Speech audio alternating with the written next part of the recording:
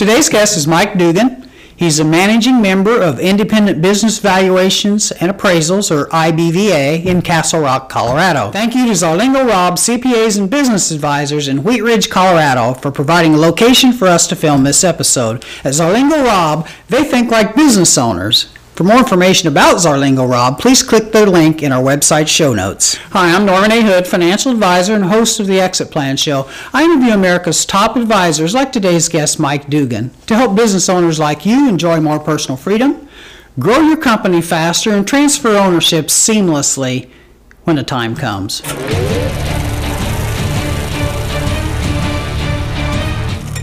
Like I said, Mike Dougan is our guest today. He's from Castle Rock, Colorado. He's with IBVA and he's a qualified appraisal expert. Mike's completed assignments for federal gift taxes, estate taxes, income taxes, stock options, divorce, mergers and acquisitions, and exit planning. Thanks again for joining us, Mike. You're welcome. Our topic today is opinion of value. So we talked about business valuation. What's the difference between a business valuation and an opinion of value? Well, actually, a business valuation is an opinion of value or conclusion of value. Okay. Um, what we, we also do is uh, uh, what is called a calculation. Ah, okay. So my terminology needs corrected. Okay. Right. Okay, um, good. But the calculation is an agreed upon procedure or process of using certain methods Mm-hmm. to establish a value. And then give a range of values. Uh, example: You have a small business; they're they're kind of curious as to the value for planning and that type of thing, and they want just a calculation done. Okay. Uh, and and they the appraiser and the client agree that they're going to use an income approach. Oh, okay. Uh, just a single period capitalization rate, Oh, okay. and that they're going to come up with a, a certain cash flow uh, development from the books, and that's all they're going to do Okay. and and you'll get a calculation. They'll figure out the cap rate and come up with a range of value, 100 to 120,000, for example. Okay. Uh, no opinion is being given.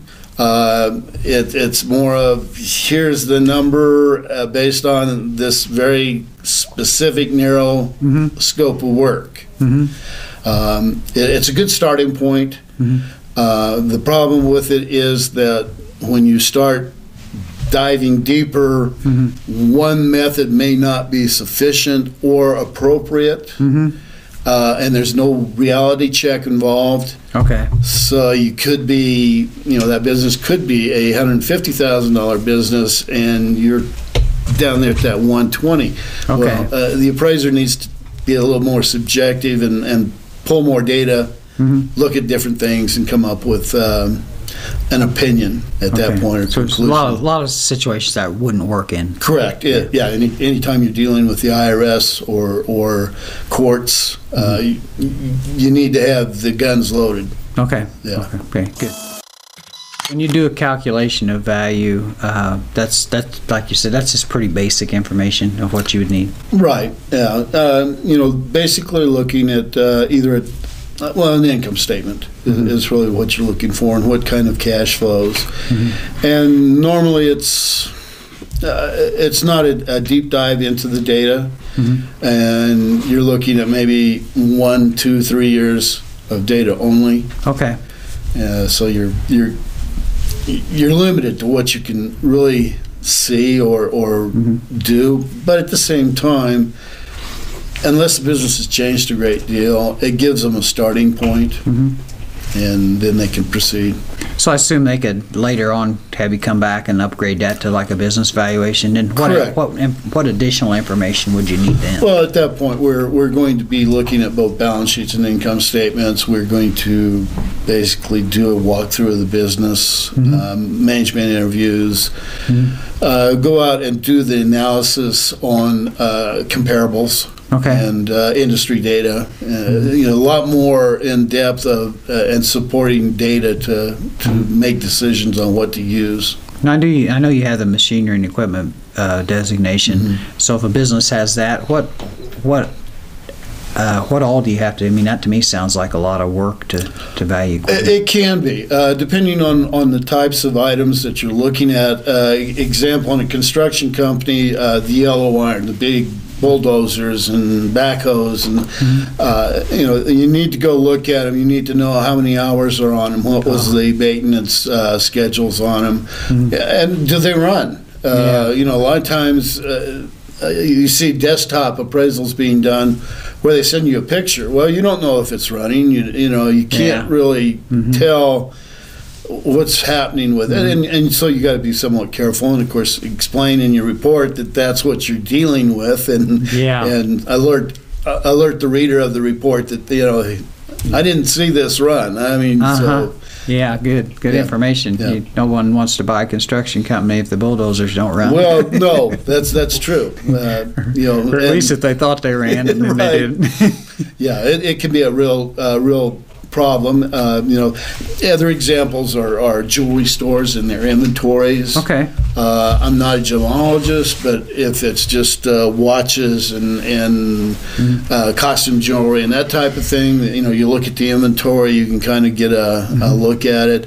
Um, I brought jewelry up because it, it's it's one of those more specific types of businesses where a Right. gemologist should be brought in and taken care of.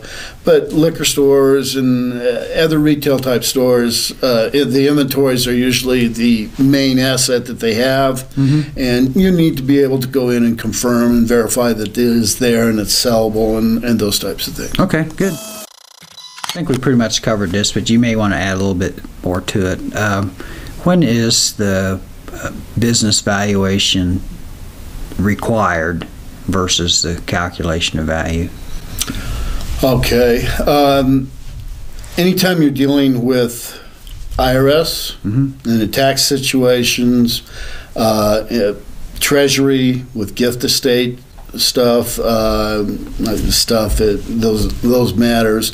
Uh, divorces uh, normally the um, the trier of fact is going to want to read the re- the the appraisals. There's usually two experts involved, uh, one for each side.